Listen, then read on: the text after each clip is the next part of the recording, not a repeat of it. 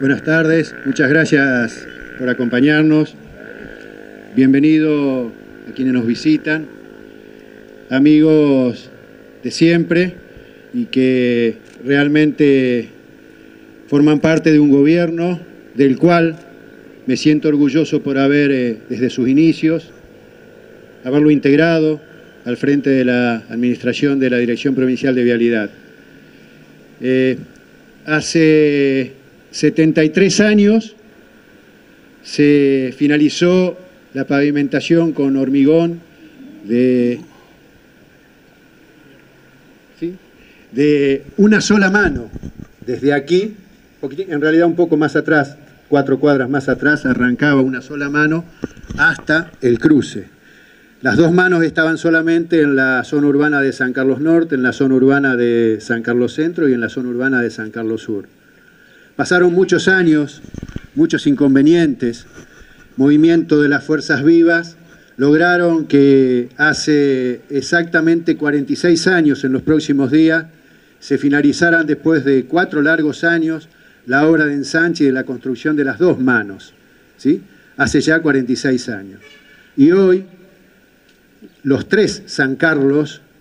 queremos destacar que el señor administrador de Vialidad, el señor Ministro de Infraestructura, el senador, el señor gobernador, el señor vicegobernador, forman parte de un día histórico para nuestra comunidad. Haber podido concretar esta obra que veníamos bregando aún antes de asumir esta nueva gestión al frente del municipio de nuestra ciudad y que tanto el señor gobernador como el señor vicegobernador y el señor ministro se habían comprometido a, a concretar. Nosotros, Aportamos nuestro trabajo haciendo el proyecto para tratar de ganar tiempo, para tratar de que podamos licitar lo más pronto posible. Gracias a Dios hubo una licitación exitosa y nos tocó que fuera ganadora y llevar adelante la obra una gran empresa que quiero destacar, INAR Construcciones, que está llevando adelante la obra con mucha responsabilidad, con, con una infraestructura realmente importante y que prácticamente no ha generado inconvenientes a lo largo de toda la obra. Esta es una obra diferente porque hubo que esperar eh, y superar las inclemencias climáticas que determinaron la elevación de las napas y el inicio fue muy complicado cuando se arrancó desde la autovía hacia aquí. Luego, cuando se entró en ritmo, se produce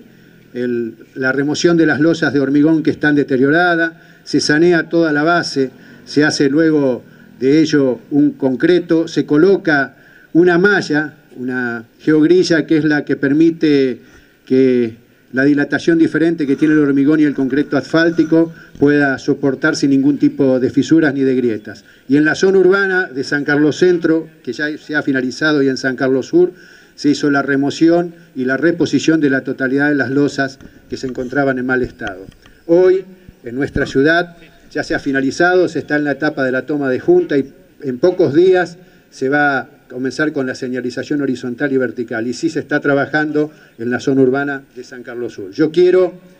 agradecer, destacar, porque esta obra es una más de las que lleva adelante el gobierno provincial, que como lo dije en alguna reunión, está encabezado por un ingeniero y por lo tanto la obra pública es prioridad, es una faceta importantísima de esta gestión y esto se replica a lo largo y a lo ancho de toda la provincia. También tenemos los sancarlinos que agradecer otra obra fundamental, no solamente los sancarlinos, los santafesinos, que es la obra del acueducto de Bío Arijón, cuyo obrador central de las tramos 2 y 3 se encuentra aquí en nuestra ciudad, y que esta obra que se está llevando aquí también se hizo en el norte, y esto demuestra el compromiso de este gobierno provincial en todo el territorio de la provincia. Yo quiero finalizar agradeciendo y también decir que como he estado de los dos lados del mostrador,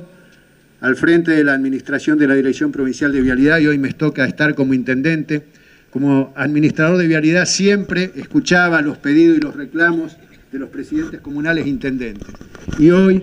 quiero formalmente pedirle, señor gobernador, señor vicegobernador y a las autoridades del Ministerio de la Administración de Vialidad, que podamos concretar algo que estamos trabajando, que es una rotonda aquí en el acceso a nuestra ciudad que va a servir para canalizar y organizar la derivación del tránsito en este que es un lugar estratégico puesto que deriva hacia nuestra avenida de Circunvalación. Nosotros primero agradecemos, pedimos pero también creo, y el señor gobernador y vicegobernador lo saben, también aportamos lo nuestro para que esta provincia de la cual nos sentimos orgullosos de formar parte sea cada vez más grande y más próspera. Y que cada una de nuestras comunidades sientan el orgullo de ser, en este caso, sancarlinos, de los tres San Carlos y también santafesinos. Hace poco el señor gobernador vino a inaugurar un edificio escolar, que lo hicimos nosotros los sancarlinos con nuestros recursos. Y también